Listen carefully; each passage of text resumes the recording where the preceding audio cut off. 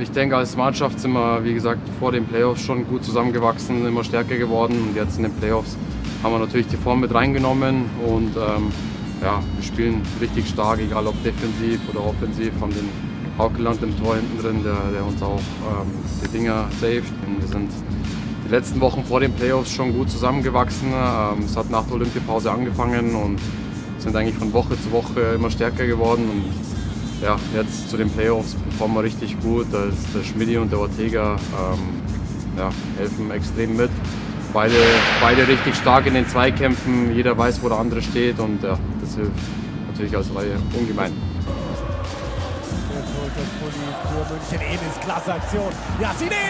denke, es wird auf jeden Fall eine harte Serie, egal gegen wen. Ähm, ja, jeder spielt in die Meisterschaft. Aber ja, wie gesagt, egal wer kommt, wir wollen auf jeden Fall die drei Spiele gewinnen.